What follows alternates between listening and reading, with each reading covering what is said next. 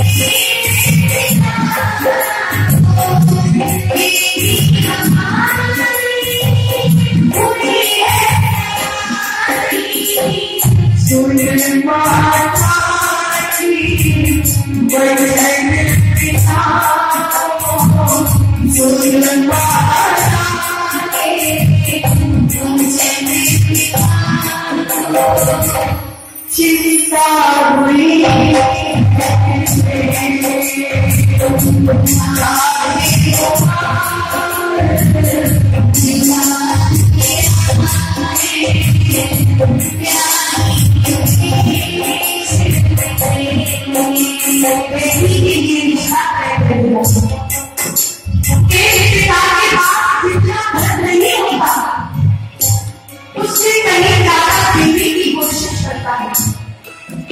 लेकिन फिर भी उस पिता का नहीं पता। कि आगे जाने के बाद मेरी बेटी के जीवन में दुख होंगे या सुख होंगे। जितना उसकी बेटी की हिम्मत नहीं होती उससे कभी ज़्यादा बेटा है जल्दी बेटी बेटा सोसाइटी कि बेटी का व्यवहार कर देगा तो उसके पास उनकी बेटी अपने धाम का लेकर के आती है। और जिस समय बेटी की विदाई होती है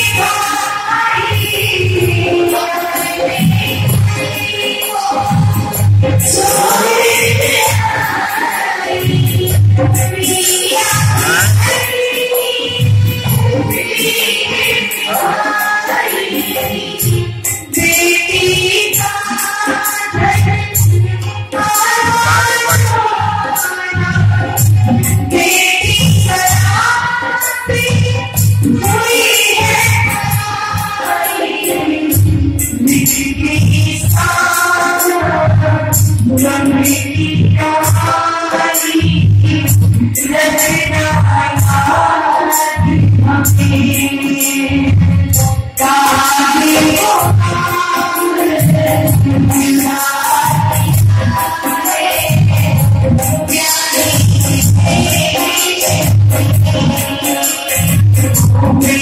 जाएगी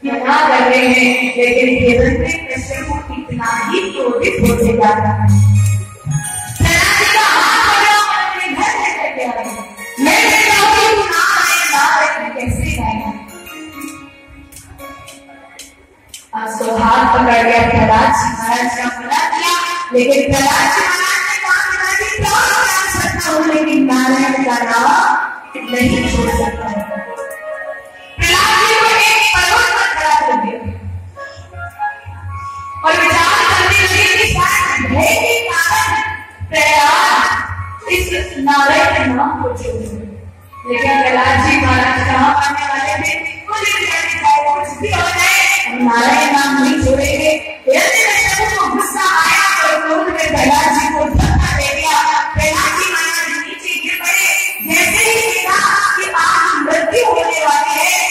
प्रहलाद जी महाराज को महसूस हुआ कि किसी ने दोनों बाहों फैला करके प्रहलाद जी महाराज को उठा डाले बोली, श्री विष्णु भगवान की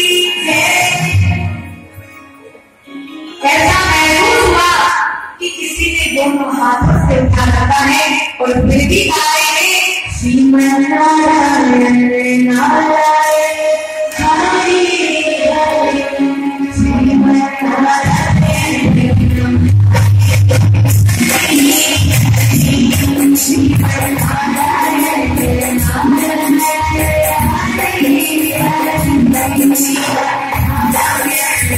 कुछ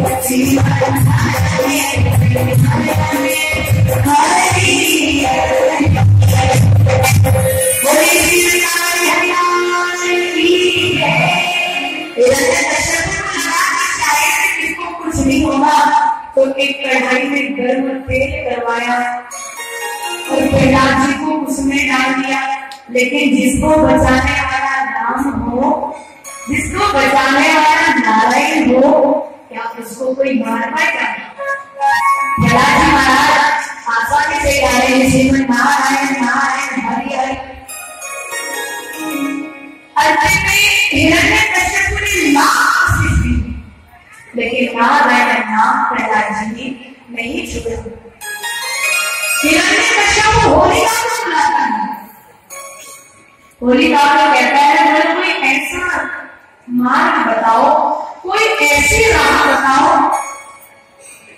जो इसकी मृत्यु हो जाए होलिका आई तो ये कहने लगी तुम चिंता मत करो एक सरल सा उपाय बताती हूँ।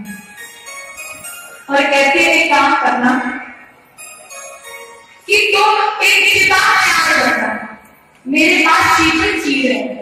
मैं उस शीतल चीर को ओढ़ के बैठ जाऊँगी प्रहलाद को अपनी गोद में बिठा लूँगी तुम अभी चला जाना प्रहलाद की मृत्यु हो जाएगी। शीतल चीर में ओढ़ के बैठूँगी तो मैं सुरक्षित रहूँगी। हिरण्य कश्यप विचार करने लगा, बात तो सही है। पूरी तैयारी की गई जैसे होलिका ने बताया था। छोटे से भक्त प्रहलाद जी को बुलाया गया। होलिका शीतल जी ओढ़ के बैठी है। प्रहलाद जी को गोद में बिठा दिया। और वो छोटा सा बालक अभी भी वही कीर्तन कर रहा है। ना रहे ना रहे हरी हरी विचार कर रहे हैं, आप प्रहलाद जी महाराज में ऐसा ना हो। आज थोड़ा संशय हुआ। लेकिन भी थोड़ा विश्वास है कि मेरे प्रभु मेरी रक्षा करने के लिए अवश्य आएँगे। गोद में बिठा रखा है। इधर जो प्रयाग जी के ग्रुप था, कुछ प्रयाग जी की तरफ़ से, कुछ हिरण्य कश्यप की तरफ़ अब जो प्रयाग जी का ग्रुप है, वो ज़ोर ज़ोर से गा रहे हैं नारायण नारायण हरि हरि। और ज़ोर ज़ोर से जयकारे लगा रहे हैं। हिरण्य कश्यप महाराज की जय। हमारा महाराज कैसा हो हिरण्य कश्यप महाराज कैसा हो। भाव के साथ गा रहे हैं। अब तो कहते हैं जिसको कोई नहीं मार सकता। ठाकुर जी की कृपा ऐसी हुई, जैसे ही अग्नि लगाई गई, अग्नि में होली का विराजमान है? नारायण की कृपा से जोरदार आंधी आई, और जैसे ही आंधी आई, शीतल तीर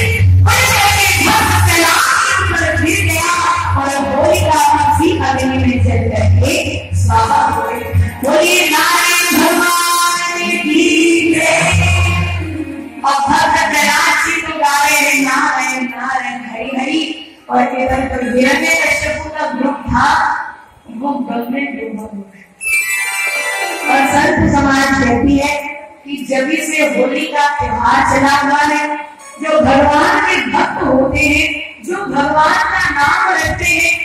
वो होली मनाते हैं, एक दूसरे के चेहरे पर रंग, गुलाल अबीर लगा करके, और जो हिरण्य कश्यप जैसे होते हैं वो मदिरा पान करके।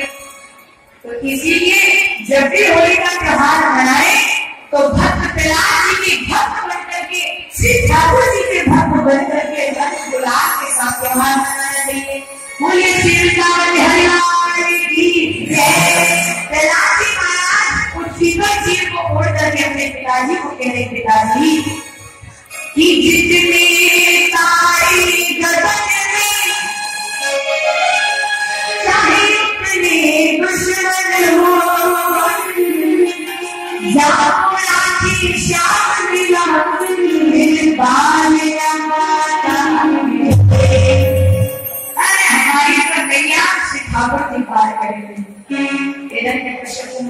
विचार करने लगा क्या करना चाहिए एक और उपाय आया। गर्म धुआँ करवाया, लोहे के खंभे को गर्म करवा करके विचार बनाया इससे बाँध देंगे मृत्यु हो जाएगी लेकिन आज हिरण्य कश्यप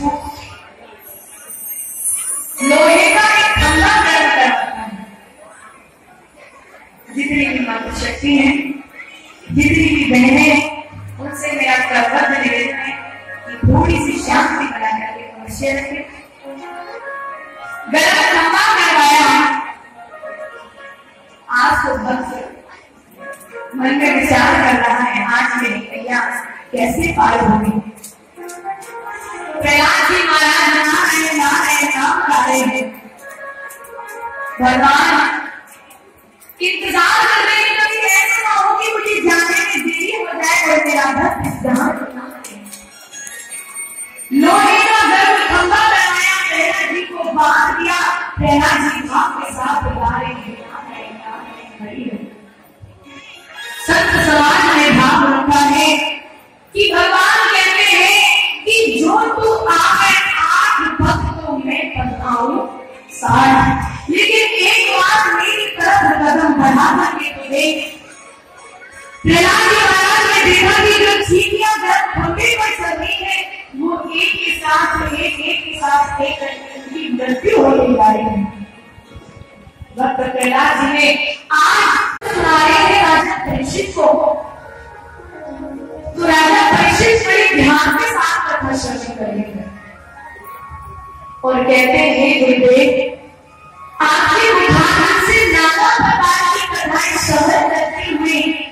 मेरे हृदय में बड़ी शांति का ऐसा अनुभव होता है कि मेरा मन बहुत ही शांत है। लेकिन अब मैं आपके मुख से भगवान के प्रिय भक्त यानी भक्त प्रहलाद जी का चरित्र श्रवण करना चाहता हूँ।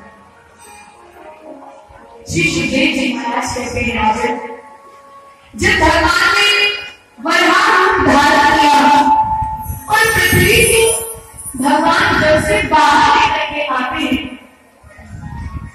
तो उस समय भगवान हिरणाक्ष नामक दैत्य का अंत करते हैं। हिरणाक्ष का अंत हिरणाक्ष के भाई हिरण्य कश्यप ने सुना।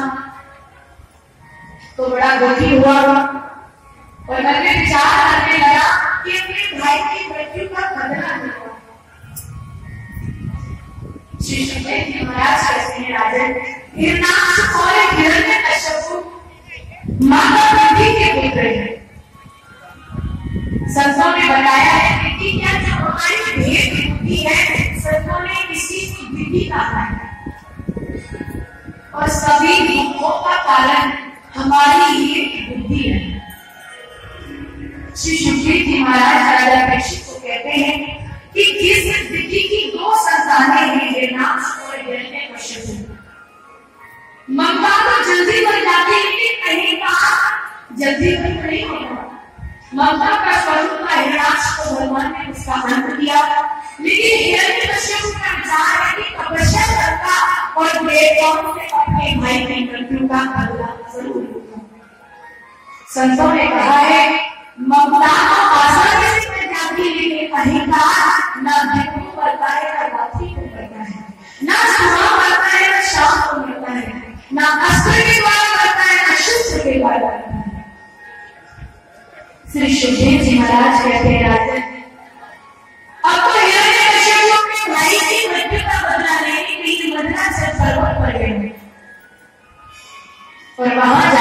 तपस्या इधर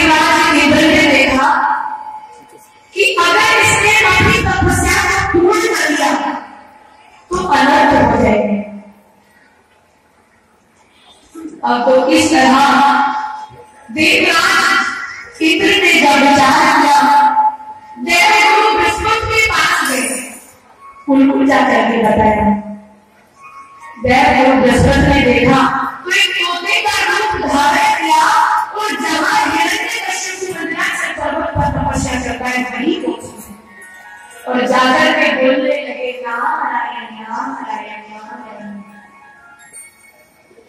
आज हिरण्य कश्यप ने सोचा कि शायद आप तपस्या करने का सही समय नहीं है सो वहाँ से वापस गए।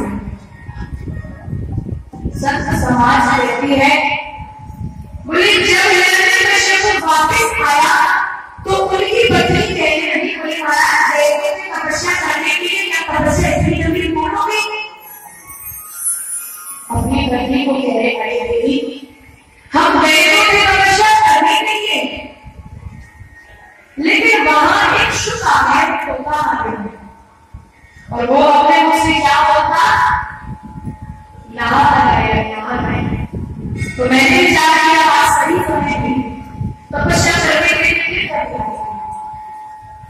जब प्रयागराज ने सुना तो बोले, हे जब नारायण कहता होगा तो कितना सुंदर लगता है। बोले, भैया, मैं बता नहीं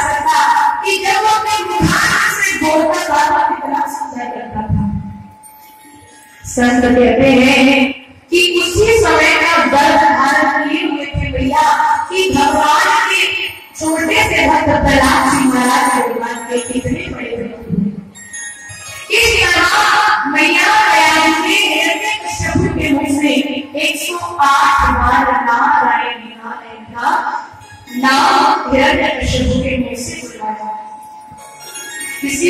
कहते हैं कि मैया जब गर्भवती होती है तो उनको ज़्यादा से ज़्यादा हरी कथा सुननी चाहिए। ज़्यादा से ज़्यादा उनको सत्संग श्रवण करना चाहिए। सत्संग के द्वारा ही किसी को भगवान भक्त बनाया जा सकता है। लेकिन आजकल की माताएँ सत्संग श्रवण नहीं करती। पहले तो जब माता घर करती होती थी चक्की होती थी हाथ से चला रही होती होती थी कि नहीं और आजकल तो पहले ही बैठे डॉक्टर बता देते हैं कि इनको कोई काम नहीं करना, बस इनको आराम करना और इसीलिए आजकल माना कैसे हो रही है? इसीलिए जब भी गर्भधारण हो, जब भी भी गर्भवती हो तो ज़्यादा से ज़्यादा सत्संग श्रवण करना चाहिए। लेकिन माताएँ सत्संग श्रवण करती और 24 घंटे टीवी के सामने बैठ जाती है। जल्दी जल्दी घर का काम निपटाया और इस बार ये नाटक देखते हैं, इस बार ये नाटक बस पूरा दिन निकाल देते हैं। तो ये डांट डालो तो मैया दयालु इस तरह से एक सौ आठ बार प्रभु के मुख से नाम नाम शब्द निकलवा रही है। श्री श्री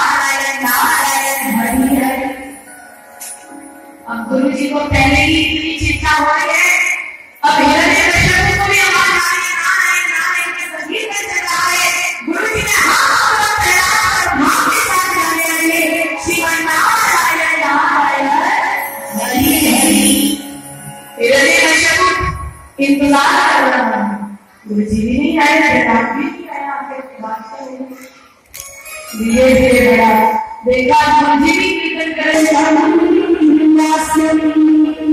संखेवा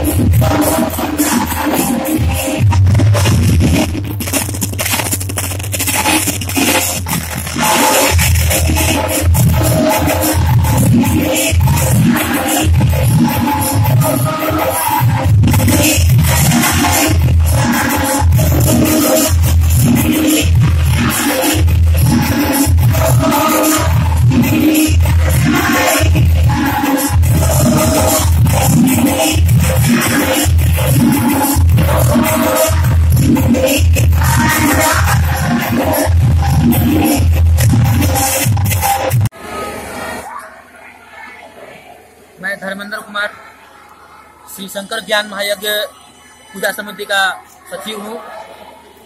ये यज्ञ जो ज्ञान महायज्ञ है, ये पिछले 32 साल से होता हुआ आ रहा है। और इस यज्ञ में, यज्ञ का शुरुआत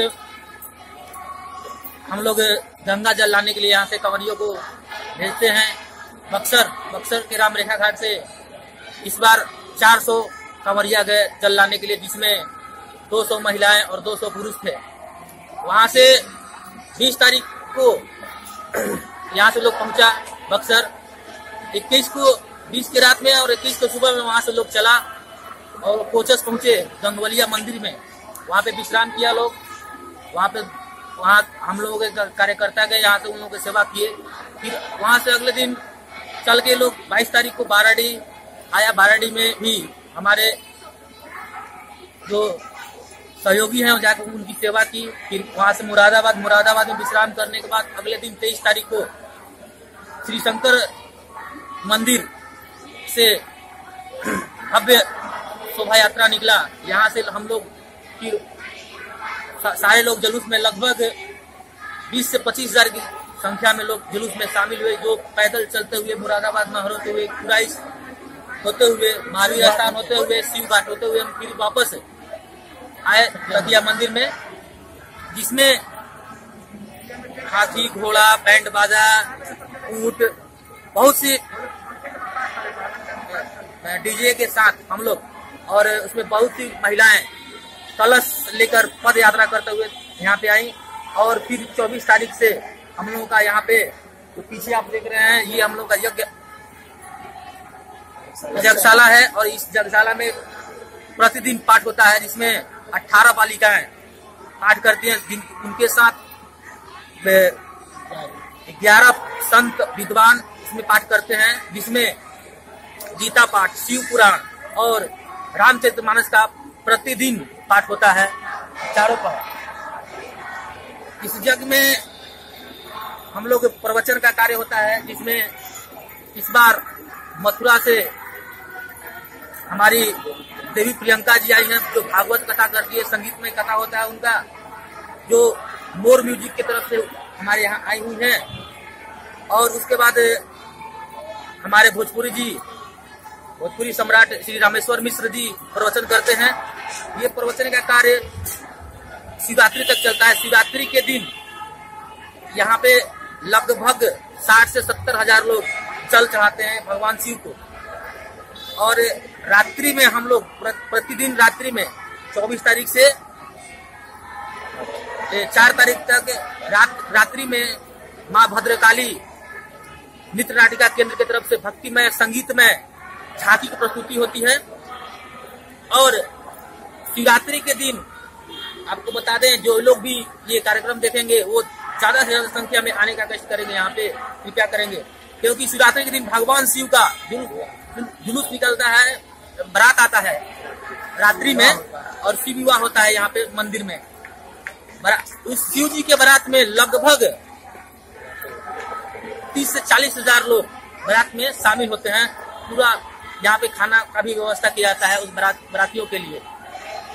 और हमारे इस यज्ञ के यज्ञ में हम लोग के साथ देने वाले हमारे संरक्षण कमेटी में श्री शशि जी हैं, वो आपसे कुछ मैं शशि कुमार सिंह श्री शंकर ज्ञान महायज्ञ का संरक्षक कमेटी का सदस्य हूँ। मैं श्री तिलेश्वर नाथ धाम आज बत्तीसवा वर्ष जग हो रहा है। जो हमारे जग में बहुत से संत महात्मा आए हुए हैं, बहुत दूर दूर से। हमारे यहाँ भिक्षुक महाराज जी भी दो मार्च को आने वाले हैं, जो कि वृंदावन से आएँगे। हमारे यहाँ खास बात यह है, जग में कि जग में पर डे लंगर की व्यवस्था की गई है। यहाँ चौबीसों घंटा लंगर की व्यवस्था है, जो चौबीसों घंटा यहाँ लंगर चलता रहता है, जो भी श्रद्धालु आते हैं, प्रसाद ग्रहण करते हैं। और हमारी जितनी भी कमेटी है, इस जग के लिए बहुत मेहनत कर रही है किसी भी तरह का असुरक्षित व्यवस्था न हो। सब सुरक्षित सुरक्षित रखने के लिए सब अपने कमेटी के लोग लगे हुए हैं, सब लोग अपना कार्यक्रम कर रहे हैं।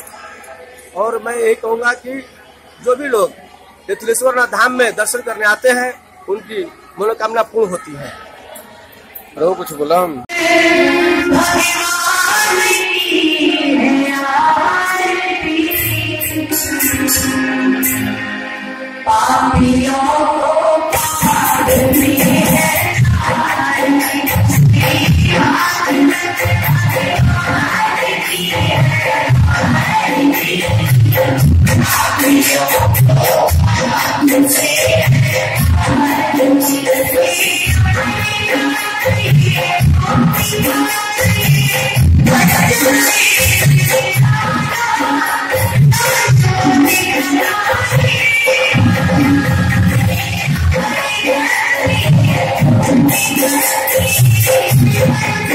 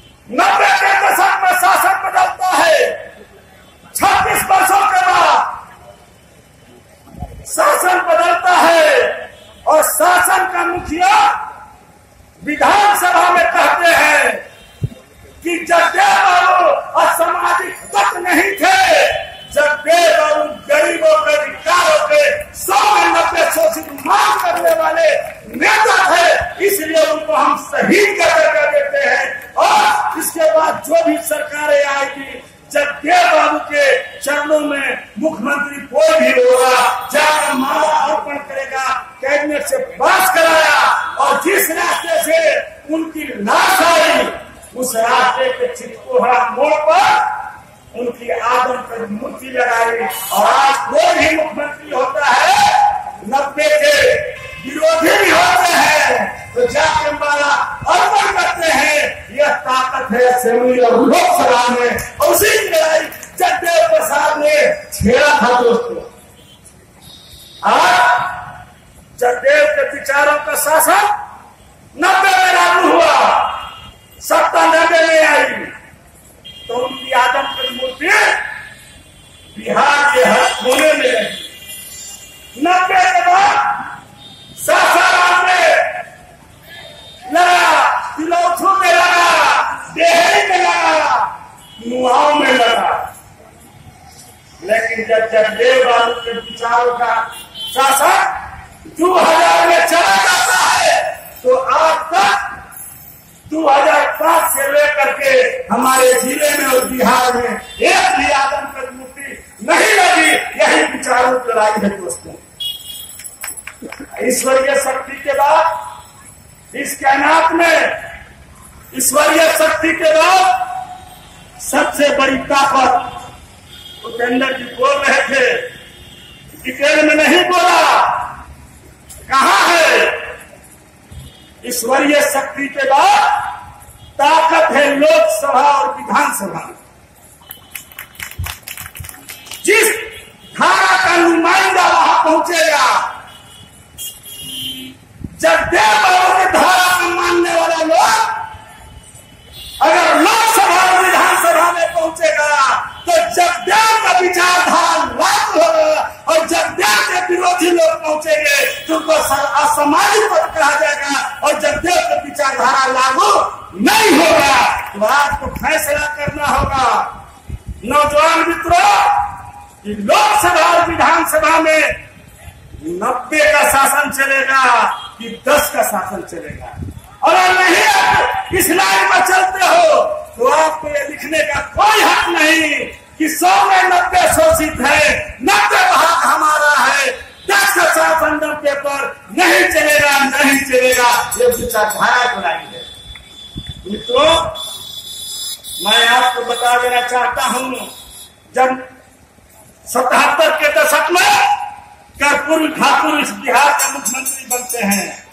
तो जो जगदेव बाबू का हत्या हुआ था, चौहत्तर में जिन नारों पे चलते सौ में नब्बे शोषित है, नब्बे भाग हमारा है, उन्होंने आरक्षण दिया। गरीबों को सत्ताईस परसेंट, भले ही नब्बे परसेंट मांगे थे, लेकिन सत्ताईस परसेंट आरक्षण मिला। तो उस समय क्या हुआ? मैं नाम नहीं लेना चाहता। राजनीति की बात होगी, दल की बात नहीं होगी।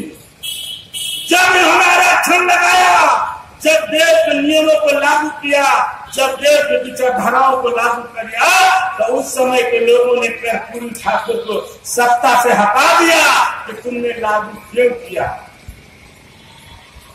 एक बार जब जगदेव के नारा को लोकसभा में मंडल कमीशन के तहत जब बीपी सिंह ने लागू किया, जब देश के विचारधारा को तो बीपी सिंह को भी हटा दिया गया। ये पहचानना होगा आपको कि कौन लोग जगदेव के नारों को लोकसभा और विधानसभा में लागू करते हैं और कौन लोग लागू नहीं करते हैं, अगर इन विचारधाराओं को आप नहीं चलते हैं तो जसदेव जयंती मनाने का कोई हक नहीं है दोस्तों। आज बोले चंद्र जी कि लोकसभा, विधानसभा से पीएम, सीएम, डीएम निकलता है। देश के विचारधारा के लोग सीएम बनेंगे। जब देश के विचारधारा के लोग सीएम बनेंगे, कि जब